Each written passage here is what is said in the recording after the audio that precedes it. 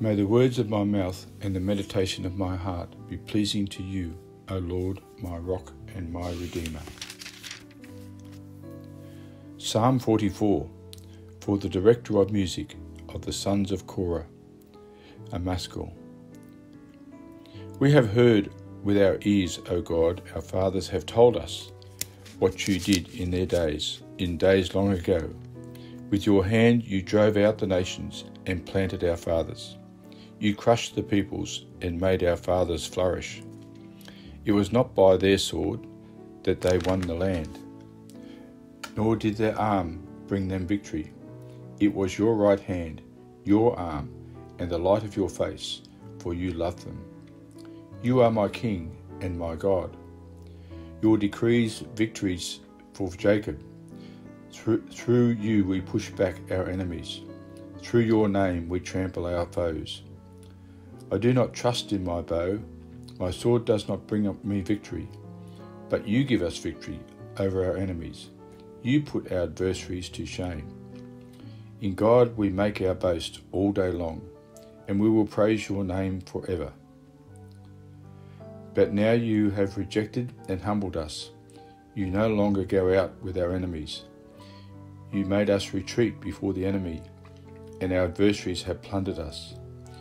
You gave us up to be devoured like sheep, and have scattered us among the nations. You sold our peoples for a pittance, gaining nothing from their sale. You have made us a reproach to our neighbours, the scorn and derision of those around us. You have made us a byword among the nations. The people shake their heads at us.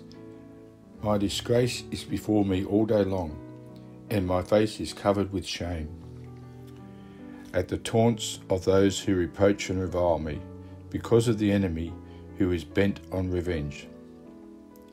All this happened to us, though we had not forgotten you, or been false to your covenant.